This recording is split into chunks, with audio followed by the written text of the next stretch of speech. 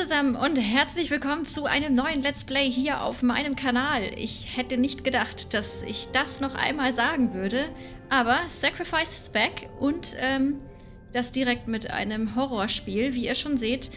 Äh, The Alien Cube, die Fortsetzung von The Land of Pain. Es war mein allererstes Spiel, das ich Let's Played habe.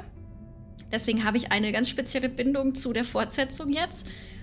Und ja, ich dachte mir, wenn ich zurückkomme, dann doch damit und am besten, äh, ja, mit einem Horrorspiel. Denn ihr wisst alle, ich liebe Horrorspiele. Ich bin absolut äh, furchtlos. und ähm, ja, was ich dazu sagen muss, wir spielen jetzt hier die Beta. Das heißt, äh, es kann noch zu Bugs oder Fehlern kommen, denn ich habe ein bisschen äh, früheren Zugang bekommen, worüber ich mich besonders freue. Deswegen... Ähm, ja, ja, ihr werdet dieses Video dann sehen, ähm, wenn der offizielle Release ist. Aber ich nehme es jetzt natürlich schon vorab auf. Und ich würde sagen, wir stürzen uns direkt äh, hinein. Juhu. Hm. Ist ein neues Spiel starten? Ja, ich habe natürlich vorhin schon mal ganz kurz äh, reingeguckt, um zu gucken, ob alles funktioniert. Und jetzt geht's los. Oh je. Kapitel 1, das Ereignis. Ich glaube, die größte Barmherzigkeit dieser Welt ist die Unfähigkeit des menschlichen Verstandes, alles sinnvoll zueinander in Beziehung zu setzen.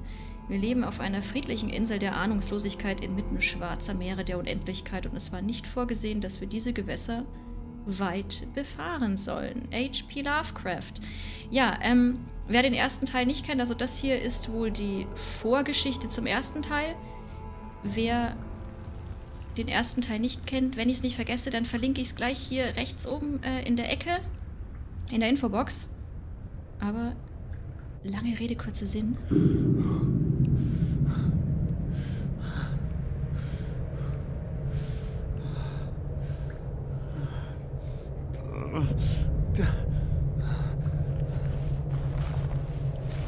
Da baumelt jemand. Where am I? What am I doing here? Ja, das ist eine sehr gute Frage. Benutze WASD, um dich zu bewegen, der Taste, um zum Springen und C, um dich zu ducken. Oh Gott, wenn ich mich ducken muss, das heißt, dann muss ich mich wohl auch verstecken. Meine Güte, wie gut sieht dieses Spiel aus. Also, wow, das muss man ja wirklich mal sagen. Ähm, warum habe ich hier einen Mauszeiger in meinem Spiel? Das ist, äh, weiß nicht, ob das so gedacht ist. Aber ihr seht ihn, glaube ich, nicht, weil ich meinen Mauszeiger nicht aufnehme. Na, immerhin. Ähm, Schön. Oh nee, er hat immer noch dieses versetzte Springen vom ersten Teil. Wer es kennt, wer mich dabei gesehen hat, der hat gesehen, dass ich damit echt Probleme hatte. Wie kam ich hierher? Was ist das für ein Ort? Und warum bluten wir? Haben wir, haben wir Füße? Ja, wir haben, wir haben Füße. Wie kam ich hierher? Was ist das für ein Ort? Okay, ich dachte, das wäre vielleicht was Spezielles. Was ist das? Potato Chips oder so. Ein weiterer Altar. Noch ein Altar. Der Mann auf dem Bild bin ich. Wie ist das möglich? Was ist das für ein Ort? Ähm. Warum sind wir das?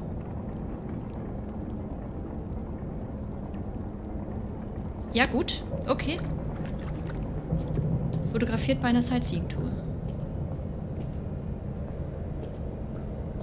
Oh Gott, es wird gespeichert. Und das war auch, glaube ich, mein Lieblingssatz im ersten Teil. Es wird gespeichert, dann ging es nämlich immer rund. Ich weiß nicht, will ich, will ich da lang? Da ist es so dunkel. Ich habe übrigens schon versucht, das Spiel ein bisschen heller zu drehen. Weil ich sehe gar nichts. Ihr seht wahrscheinlich sehr viel mehr als ich. Von hier aus kann ich nach draußen sehen, aber der Riss ist zu klein, um durchzukommen. Ich muss einen anderen Ausweg finden. Okay, boah, der springt aber schnell zurück. Ähm, mein Monitor dunkelt extrem ab und das ist bei Horrorspielen immer ein Spaß. Hallo? Dinge, die man in einem Horrorspiel immer macht. Hallo?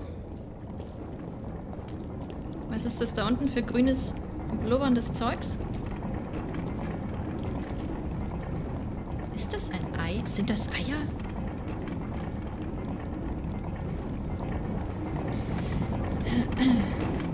Also ich kann mich noch dran erinnern.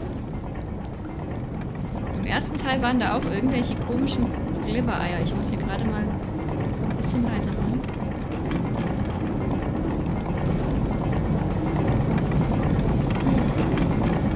Wofür sind diese Zahnräder? Es scheint, als würde sich hinter dieser Mauer eine riesige Maschinerie befinden. Für was auch immer, was auch immer hier angetrieben werden muss. Hier unten. Irgendwelche beweglichen Altäre oder so.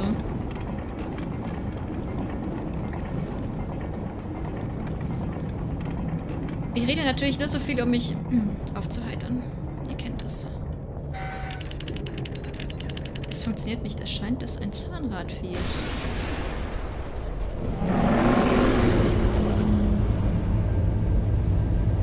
Ähm. What was that sound? Er hat eine Stimme. Er hat, hatte er im ersten Teil auch eine Stimme? Ich kann mich gerade nicht dran erinnern. Äh, wir suchen, wir untersuchen ähm, weiter diese Tür. Diese großen Steinchen sind fest verschlossen. Dieser Mechanismus muss dafür sein, sie zu öffnen. Ach so, ähm. Gut, wo kriege ich jetzt ein Zahnrad her? Wahrscheinlich hat der S Viech äh, irgendwas kaputt gemacht, wo wir jetzt durch können. Hallo?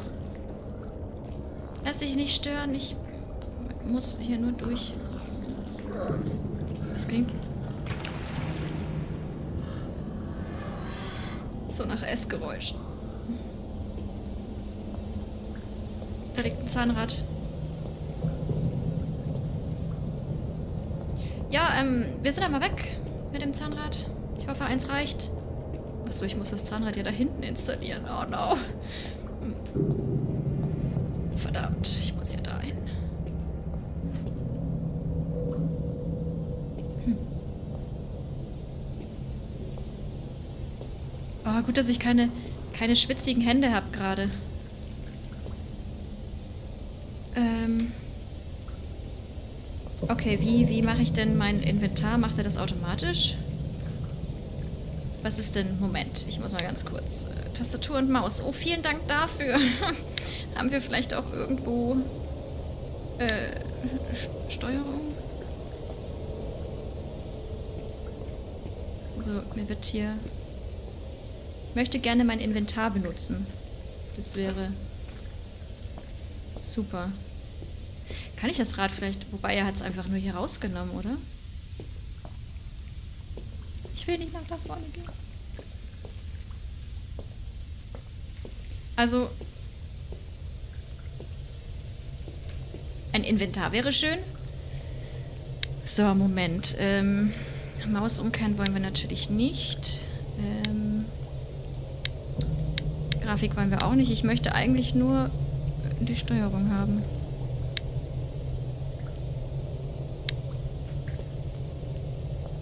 Und vielleicht gehen wir doch mal nachgucken.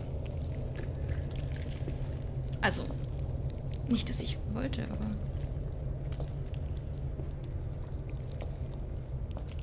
Aber wie fies ist das denn eigentlich? Einfach nur dieses Rad rauszunehmen. Ich meine... Aber mir wird auch gerade nichts angezeigt. Irgendeine Taste, dass ich irgendwas benutzen kann. Lass mich doch einfach nur, dass ich weiß doch, dass es hier reingehört. Oder? Meine... Ich gehe jetzt mal ganz kurz noch nach da vorne. Ja, äh, ach so, ich bin übrigens blond. Falls es euch nicht aufgefallen ist. Ihr habt mich, glaube ich, noch ein bisschen... Oh, da gehören die Räder rein. Ich habe mich noch ein bisschen anders in Erinnerung. Daran habe ich gar nicht mehr gedacht.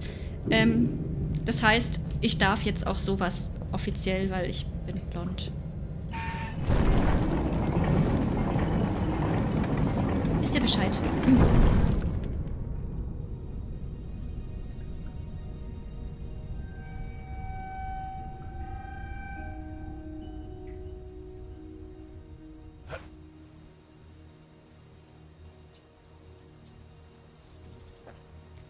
Der? Das ist wahrscheinlich der Wald aus dem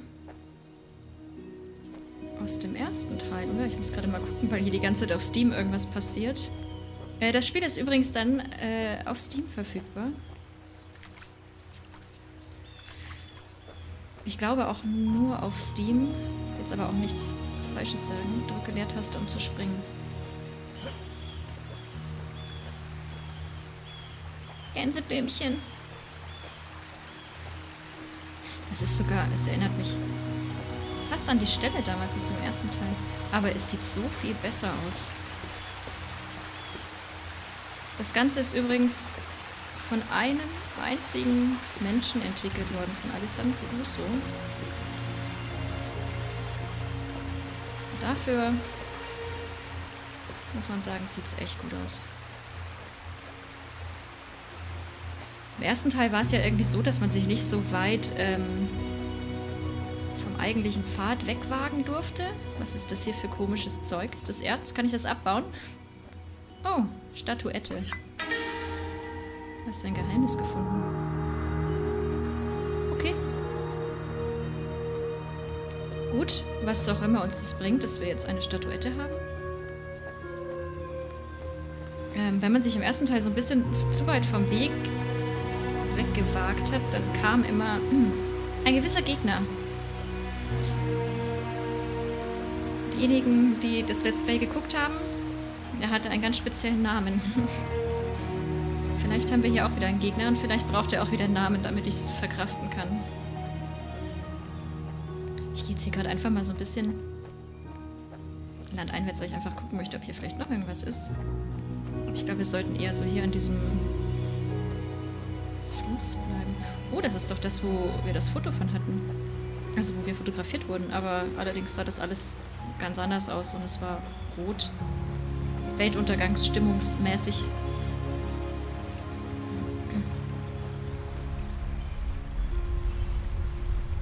Hallo? What's going on?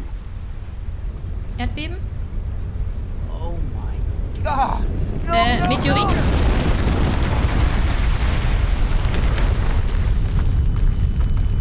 Vielleicht kommt daher das Foto. Ein Foto aus der Zukunft.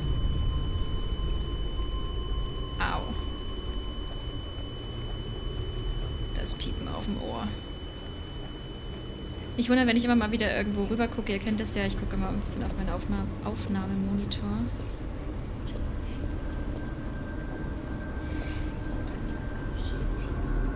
Hier ist schon wieder so ein komisches Flüstern und das kenne ich auch noch aus dem ersten Teil. Das war auch nie was Gutes.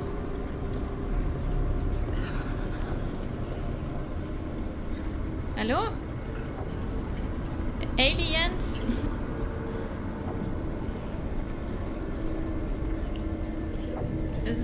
So hier. Und der, der Monitor. Also es ist nicht der Monitor, es ist die Kamera. Die Kamera ist schmutzig.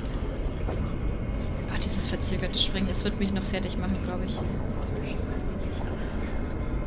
Hallo?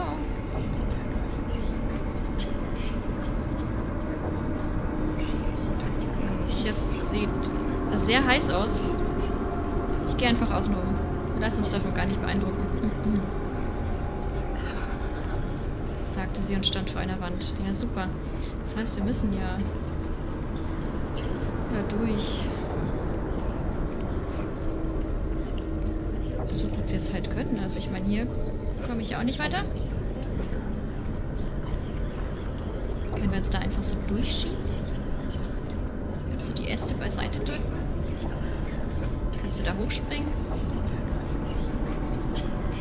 Können wir da hoch? Also ich glaube, wir müssen da hoch, aber... Wow, das sieht alles sehr heiß aus. Was ist das?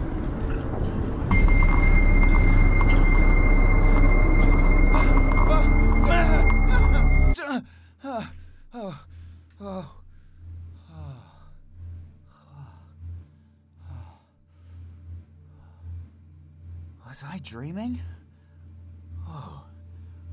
Scheinbar. what time is it? 8 Uhr. Also, dieser Traum, es war alles so echt und beunruhigend. Es fühlte sich so real an. Ähm, ich bin müde, ich muss ins Bad und mich erfrischen. Hä? Warum ist er müde, wenn er gerade geschlafen hat? Und warum sehen wir da jetzt keine Uhrzeit mehr? Was ist das da? Ich kann es leider nicht lesen und man kann leider auch nicht ranzoomen oder so. Aber das sieht irgendwie, vom Motiv her sieht es ein bisschen aus wie so eine Todeskarte. Todeskarte? Kann man das so sagen? Ähm, ich glaube, ihr wisst, was ich sagen wollte damit. Das ist ein schönes Bild. Hier ist eine Waage. Einmal kurz drauf, bitte, um zu gucken, ob wir vielleicht abgenommen haben durch den Stress. Also durch den Albtraum. Warum stehen hier überhaupt überall Kartons? Junge. Was stand da? Was stand da? Stand da benutzte Tür? Schalter. Oh, wir haben Licht. Ist auch nicht alltäglich in so einem Spiel. Was haben wir denn da an, um Gottes Willen? Was sind denn das für Operhausschuhe? Drücke J, um das Tagebuch, Tagebuch, Tagebuch zu öffnen. Meine Träume. Heute Nacht schreibe ich erneut in mein Tagebuch in der Hoffnung, dass es mir dabei hilft, einzuschlafen und wieder Frieden zu finden. In den Nächten plagt es mich, dass ich immer häufiger ganz plötzlich und aus unerklärlichen Gründen aufschrecke. Schweißgebadet und schrecklich müde habe ich unmittelbar danach das unangenehme Gefühl, dass ich etwas Verstörendes erlebt habe, an das ich mich nicht mehr erinnere. Ja, verstörend, ich meine so ein Meteorit? Hm. Es könnte auch alles auf die jüngsten Ereignisse zurückzuführen sein. Die Trennung von Jenny, der Umzug und schließlich das Verschwinden meines Onkels Edgar. Insbesondere letzteres muss mich angesichts der Unklarheit des Sachverhalts mehr beschäftigt haben, als ich dachte. Was die Zeitung berichtet, ist in der Tat sehr seltsam. Nur Gott weiß, was mit ihm passiert ist. Mein neues Zuhause hat nicht dazu beigetragen, meine Situation zu verbessern. Vielleicht ist es einfach zu früh. Ich brauche mehr Zeit. Oh je, ähm, Trennung. Und dann noch der Tod oder das Verschwinden, Tod, Verschwinden eines Familienmitglieds. Können wir die Tür bitte auch wieder zumachen? Steht ja hier voll im Raum. Hallo, Licht? Oh, super. Äh, wer kennt sie nicht? Die Bügelkissen. Ähm, gibt es Bügelkissen? Jetzt gibt es, ich habe mich wahrscheinlich gerade voll blamiert, weil es wirklich Bügelkissen gibt. Hm. Benutze, ach, benutze Tür, okay. Oh, wow. Also ich meine, wenn er hier ein bisschen was draus machen würde. Andere Fliesen und anderer Anstrich allgemein.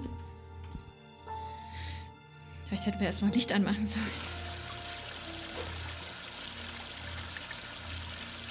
Ich kann nicht aufhören, über diesen Traum nachzudenken. Es war, als würde mich dieses seltsame Objekt rufen. Ich fühlte einen tiefen, ursprünglichen Instinkt. Ich spüre auch gerade einen tiefen, ursprünglichen Instinkt. Oh, it's probably the postman. Und zwar nicht ranzugehen, wenn es klingelt, sonntags. Bei mir ist nämlich gerade Sonntag. Hm und fährt direkt wieder weg. Das ist wie Hermes. Klingeln und direkt wegfahren. Ja, war nicht anzutreffen. ich gucke mich jetzt erstmal weiter um. Ich kann da leider nicht hoch. Aber warum ist denn der Wasser? Ist da Wasser in, das Wasser in der Badewanne? Sag mal, Junge, kannst du das mal ablassen? Das ist ja. Das ist ja widerlich. Können wir nach Pipi gehen? Stress und Angst, Pipi? Was, was liegt da eigentlich? Komisches. Also, das ist Klopapier, auch wenn es sehr komisches Klopapier ist und keine Ahnung, warum es am Boden liegt. Aber ich möchte anmerken, das Klopapier hängt wenigstens richtig rum. Es gibt ja so manche Spielehersteller, die denken, sie könnten die Rolle einfach andersrum hängen. Und ein Delfinteppich. Ja, ich gucke mich hier ausführlich um, das, wer mich kennt. Weiß es, wer mich noch nicht kennt, der wird mich jetzt so kennenlernen. Ich bin jemand, der sich generell sehr gerne umguckt.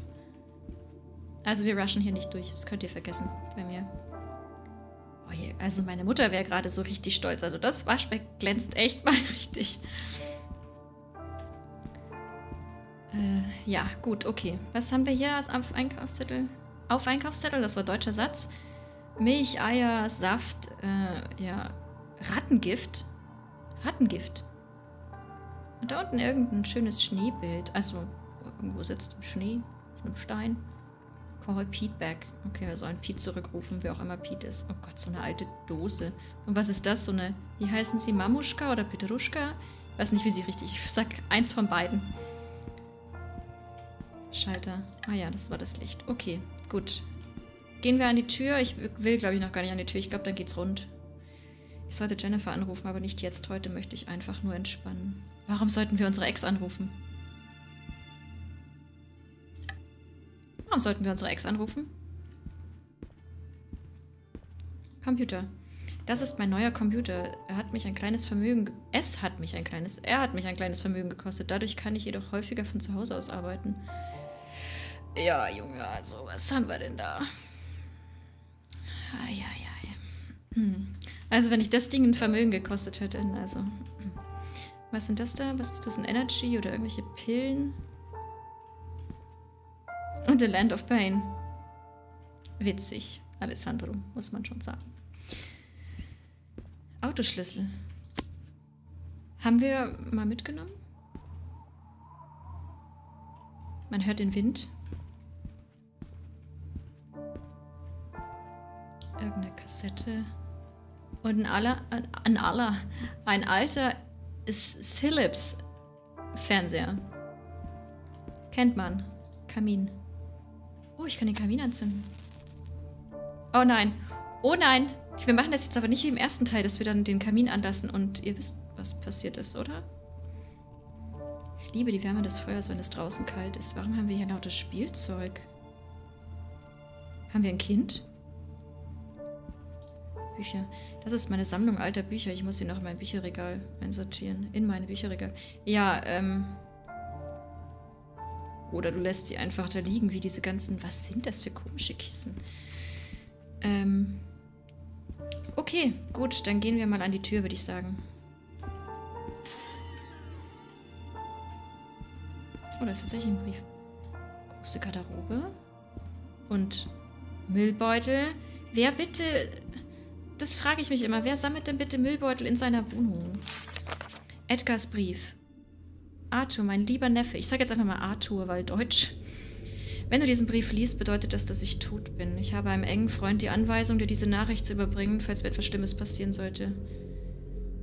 In den letzten Jahren haben wir den Kontakt zueinander verloren, das weiß ich und es tut mir leid. Mein Leben hat sich sehr verändert und ich bin nur ein Schatten des Mannes, den du kanntest, als du ein Kind warst. Ich weiß, dass es schwer für dich war, nicht zu wissen, wer deine Mutter war. Besonders nach dem Tod deines Vaters. Ich war nicht immer für dich da, aber ich habe eine schwere Phase hinter mir. Ich hoffe, du kannst mir verzeihen. Wie du weißt, war ich nie verheiratet und hatte auch nie Kinder. Deshalb habe ich beschlossen, dir all meinen Besitz zu überlassen, auch wenn das nicht viel ist. Dein Erbe besteht aus meiner Wohnung und der alten Hütte in den Bergen, die früher deinen Großeltern gehörte. Das ist alles, was ich noch habe. Naja, ich meine eine Wohnung und direkt eine Hütte in den Bergen, also was will man mehr? Die Wohnung befindet sich im Gebäude Nummer 13. Oh, sehr schön. In der Oldwood Street in Winter Falls. Was ist... Nummer 13, Oldwood Street in Winter Falls. Klingt jetzt alles nicht so romantisch. Es ist ziemlich alt und im schlechten Zustand, aber ich konnte mir nichts Besseres leisten. Unter meinen Sachen findest du wahrscheinlich einige Dinge, die für dich keinen Sinn ergeben. Ich bitte dich, alles einfach fraglos wegzuwerfen. Ich beziehe mich insbesondere auf meine Manuskripte. Sie sind sehr persönlich und wie du vielleicht erfahren hast, war das Schreiben in meinen dunkelsten Tagen mein einziger Trost. Ich bitte dich daher, sie nicht zu lesen und dich nicht mit meinen Nachforschungen zu beschäftigen. Werde alles los, damit nichts gefunden werden kann. Du findest den Wohnungsschlüssel in diesem Umschlag. Tu, was du willst, aber ich bitte dich, meinen letzten Wunsch zu respektieren. Ich habe dich immer geliebt, geliebt dein Onkel Edgar. Es ist ein Brief von meinem Onkel Edgar. Es scheint, dass er mir seine alte Wohnung in der Stadt überlassen hat. Damit hätte ich nicht gerechnet, aber ich gehe sofort dorthin. Ja, in diesen Schuhen? Ich glaube nicht. Ich würde sagen, wir müssen uns wahrscheinlich erstmal Klamotten suchen und vielleicht ein bisschen Norm einfach erstmal wegsnacken. Bringt uns das was? Und was ist das? Wein? Oder Balsamico? Lecker Brot mit Balsamico. Hm. Okay, wir haben unsere Klamotten wahrscheinlich im Schlafzimmer. Denke ich mal. War die Schranktür vorher auch schon offen? Ich werde paranoid in solchen Spielen. Okay, das war... Es wird eine lange Reise. Ich nehme lieber meinen Kassettenrekorder mit, damit ich gute Musik hören kann. Wo ist der? Kassettenrekorder und gute Musik? Kassettenrekorder? In welchem Jahr leben wir, Junge?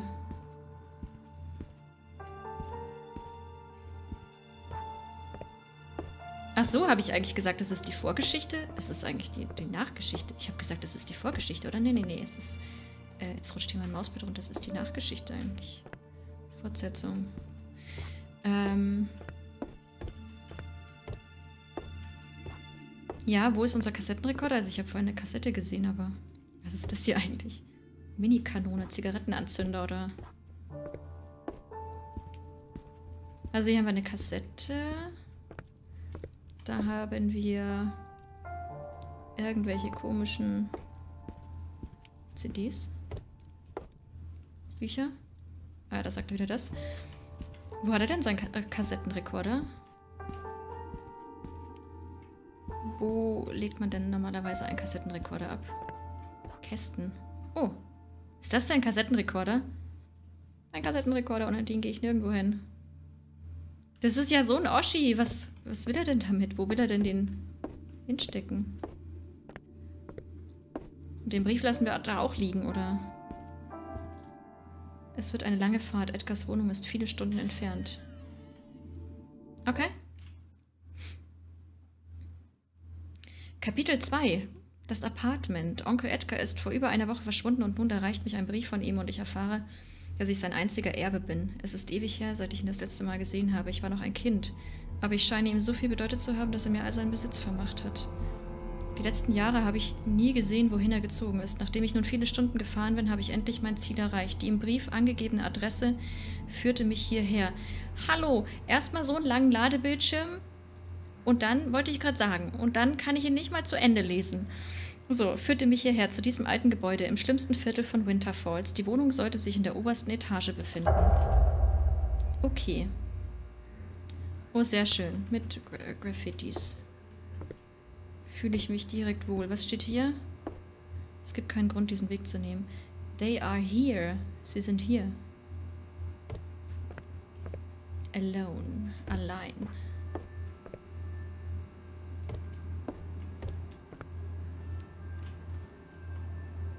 I died here?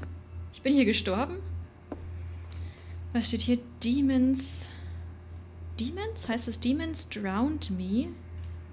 Dämonen ertranken mich. Aber das da kann man nicht lesen, oder? Ne, kann ich nicht lesen. Wow, und das Summen hier, was ist das? Oh, was habe ich mir da? Ich habe da nur Knöpfchen gedrückt. Ich habe es kaputt gemacht. Das kennt ihr auch von mir. Knöpfchen drücken. Hallo? Das ist nicht die richtige Wohnung. Ja, dachte ich mir.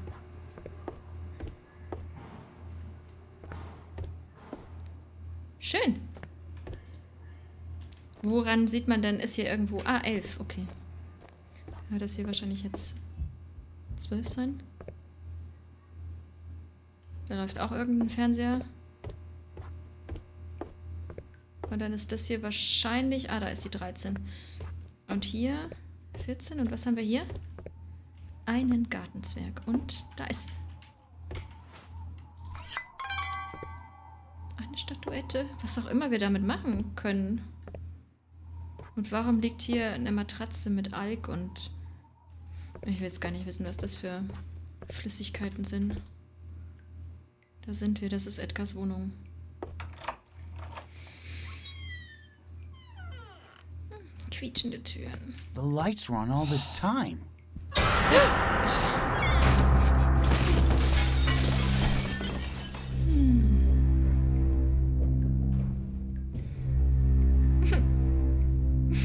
Möchte wieder nach Hause. Können wir bitte die Tür zumachen? So, tschüss. Mach, was du willst. Ich, ich wollte gerade was sagen, aber das darf ich ich hasse das, ne? Man weiß es ja in so Spielen, wenn die Kamera ihn irgendwo hinzwingt, dass dann irgendwas passiert. Ich hasse das. Hallo? Telefon. 110. Die Leitung ist tot. Hört sich aber nicht tot an. Whisky, irgendeine Frau. Wie lange nehme ich eigentlich auf? 30 Minuten. Oh Gott. Hallo, Licht. Es funktioniert nicht. Natürlich. Warum sollte es auch?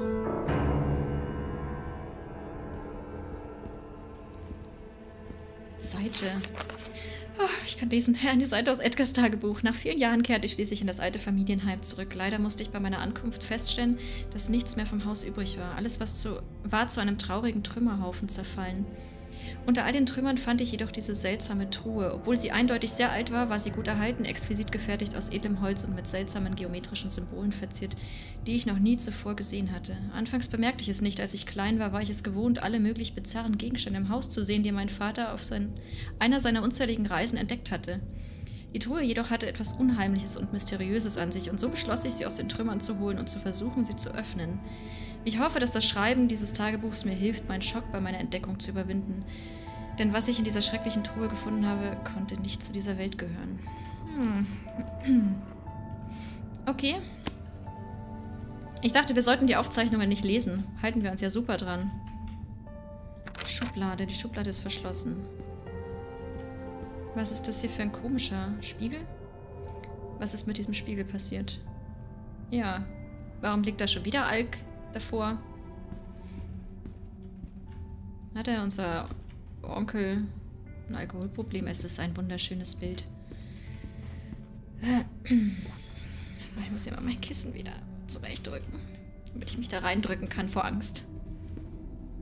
Ein Hund, da ist ein Bild umgekippt, das würde ich gerne aufstellen. Ja, da gehe ich nicht rein, da war irgendjemand. Und da ist es dunkel. Ach, schön, dass der Lichtschalter erleuchtet wird. Wenn es dunkel ist. Dieselben Schlappen wie wir. Ich sag's ja, Opa-Schlappen, Onkel-Schlappen. Überall ist Schimmel und Schmutz. Hat Onkel Edgar jemals sauber gemacht? Irr. Mm. Und die haben beide die gleiche Angewohnheit, Klopapier einfach auf den Boden zu schmeißen. Gitter. Unter diesem Rost funkelt etwas Metallisches. Mit dem richtigen Werkzeug sollte ich es öffnen können. Was da drunter funkelt was? Oder welches... Meint er das Gitter hier? Okay. Hätte ich jetzt nicht... Hm. Hübsch. Ah, die Zahnbürste, die geht schon noch. Hm. Warum auch immer da so ein Krug steht. Ich, ich glaube, wir müssen hier rein. Hi.